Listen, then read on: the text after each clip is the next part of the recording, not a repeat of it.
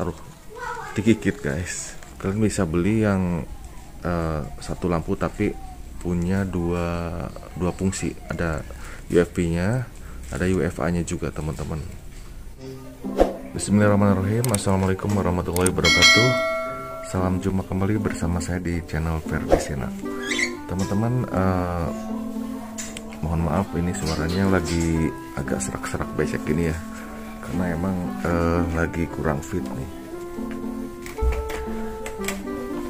Cuaca uh, cuaca sering hujan gini cuaca emang lagi nggak mendukung buat kesehatan. Jadi kalian juga harus uh, pintar-pintar untuk menjaga kes kondisi kesehatan teman-temannya.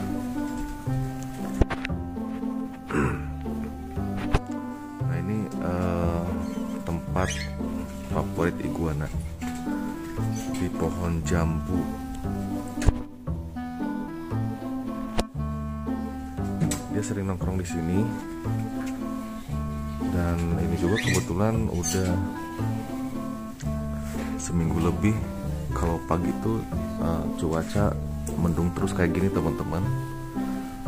Jadi untuk shading ataupun pergantian kulit juga kurang mendukung ya. Jadi untuk ke warna juga untuk warna iguana ini kurang keluar untuk warna merahnya teman-teman. Karena memang cuacanya tidak mendukung.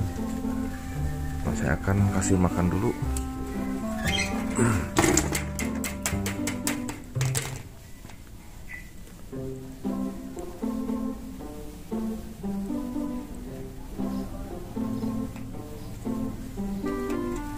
Padahal terakhir itu dia kan lagi ganti kulit. Itu warna merahnya udah kayak agak mau keluar cuman berikutnya tertahan sama cuaca yang kurang mendukung. Nah ini juga dari prosesnya agak lama teman-teman. Nah masih proses. Ini udah seminggu lebih hampir dua minggu mungkin ya masih proses ganti kulit karena tidak didukung oleh cuaca Aduh, digigit guys. Bentar-bentar.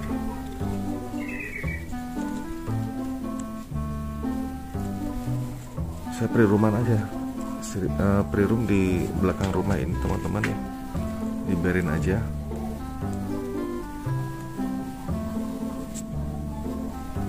Nanti dulu nanti. Oke, udah lapar nih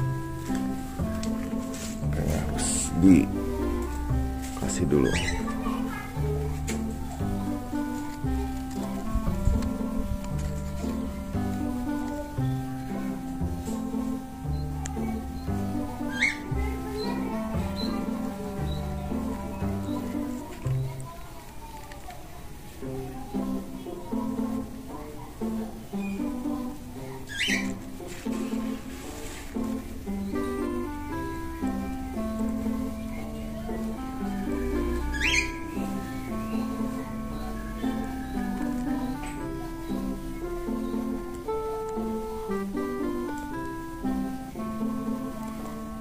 saya belum sempat untuk membeli lampu UFB teman-teman. Uh, kalian bisa bantu dengan lampu UFB itu. Ada dua jenis ya lampu UFA lampu UFA itu untuk menghangatkan kemudian lampu UFB itu untuk uh, membantu proses pertumbuhannya untuk pencernaan juga bisa teman-teman ya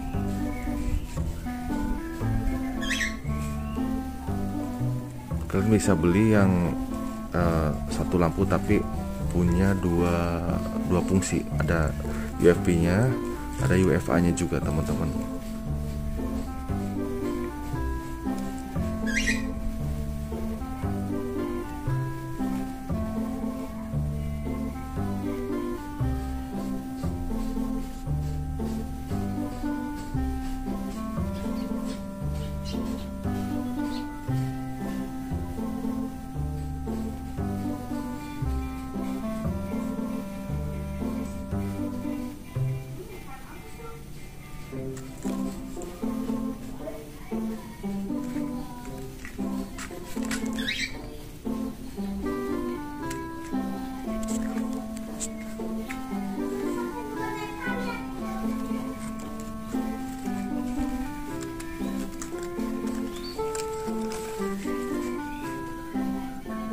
bisa terlihat dia sedang proses pergantian kulit. Ini udah lama karena uh, tidak didukung oleh cuaca. Harusnya dia tiap hari teman-teman ya tiap hari itu dijemur terus biar uh, bagus untuk proses pencerahannya juga untuk menghangatkan untuk proses pergantian kulitnya juga biar cepat Saya akan biarkan dulu di sini.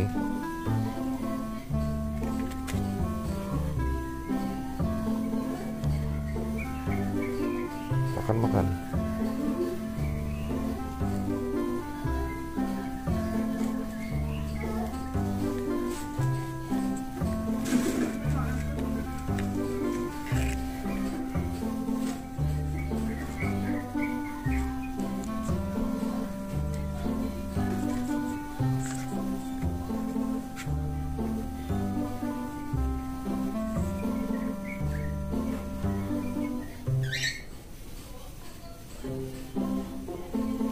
untuk proses untuk proses shading atau ganti kulit misalkan uh, ini kulit-kulit yang udah tuanya atau udah kering nanti ya misalkan mau lepas kalian bisa bantunya untuk dilepasin teman-teman dari dari tubuhnya. Tapi uh, harus hati-hati ya karena takutnya itu masih menempel jadi jangan dipaksa dicabut gitu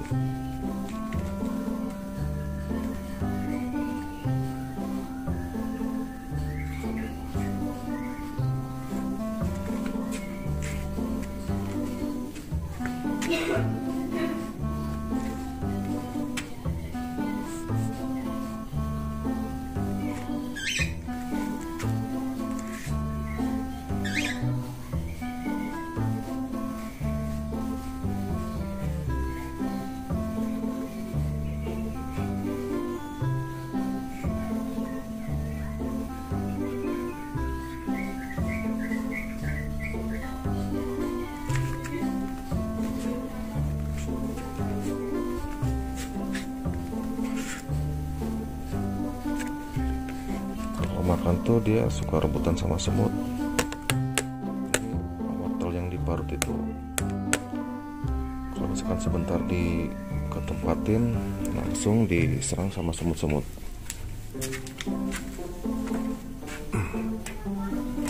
Nah kalau untuk iguana saya ini kalau di free room dia suka bolak-balik ke sini teman-teman ya.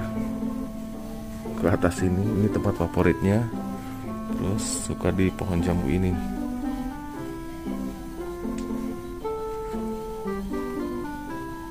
nah ini di belakang kebun teman-teman ya awalnya ini di belakang pokoknya tinggi-tinggi. Waktu pas saya baru baru tinggal di sini.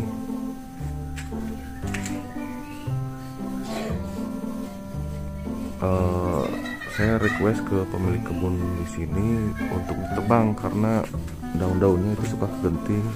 Nah makanya suka ada hewan-hewan liar. Pernah ini monyet gede siang-siang. Di sini bertengger. Terus ada musang juga gede-gede lah. Gede-gede kalau malam tuh. Untungnya ini ada burung jadi kalau misalkan malam ataupun siang biasanya malam kalau pas lagi tidur dia berkicau ber uh, ini bernyanyi burungnya. Saya langsung kontrol keluar ya ada apa gitu. Suka ada binatang-binatang yang mau masuk ke rumah ini. Sering tapi kalau sekarang sih agak jarang ya. Karena di belakangnya juga poh uh, kebunnya yang pohon-pohon tingginya itu udah pada ditebang tuh awal-awalnya di sini juga. Nah sekelilingnya uh, pohon teman-teman ya gede-gede udah pada ditebang ini yang iguana dulu juga yang lepas. Nggak tahu gimana ya nggak tahu. Pas kabur itu ditemuin sama predator gede manusia atau ada predator lainnya juga. Atau gimana lah. Tapi mudah-mudahan kalaupun misalkan ditemukan sama manusia dia bisa dirawat dengan baik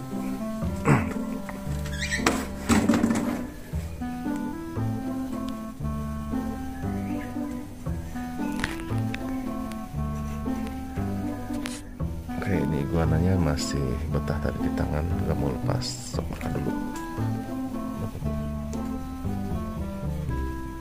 Ada yang ke tangan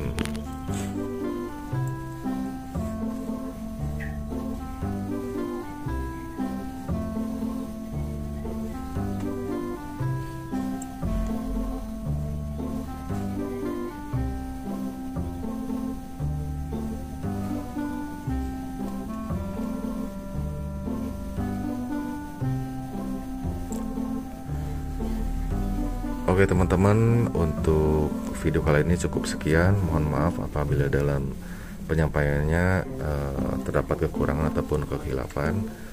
Dan mohon masukannya juga ataupun saran-saran kritik. Apabila dalam penyampaiannya ada kekurangan pasti kalian juga uh, banyak yang lebih lama ataupun lebih senior dari saya dalam cara penanganan ataupun perawatan iguananya.